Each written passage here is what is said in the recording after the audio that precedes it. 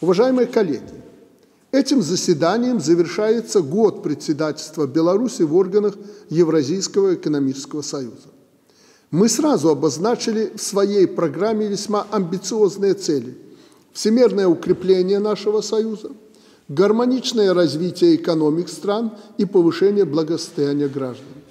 Они имеют универсальный характер и выгодны всем участникам – Особенно это актуально в текущем году, который стал настоящим испытанием на прочность здравоохранения, экономик и политических систем всех стран мира. Пандемия, как лакмус, раскрыла суть экономических союзов и интеграционных объединений.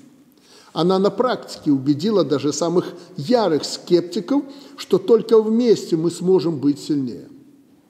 Одновременно – Коронавирус также показал истинную цену невыполнения ранее достигнутых договоренностей. Позвольте кратко подвести некоторые итоги нашей работы.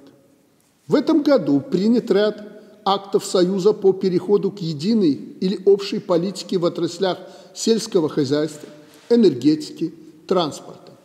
Проработаны возможности применения антидемпинговых компенсационных и специальных мер для защиты экономических интересов производителей товаров в Евразийском экономическом союзе.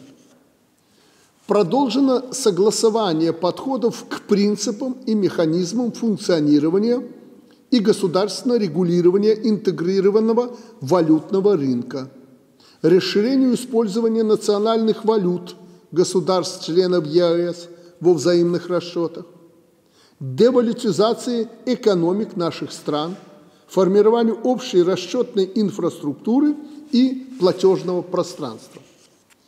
Инициирован ряд мер по импортозамещению в промышленности и сельском хозяйстве.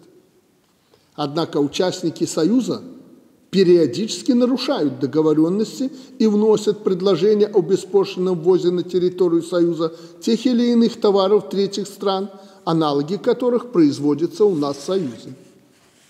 Мы имеем выпадающие бюджетные доходы, фактически поддерживаем иностранного производителя и дискредитируем нашу общую работу по развитию промышленной кооперации и снижению зависимости от импорта.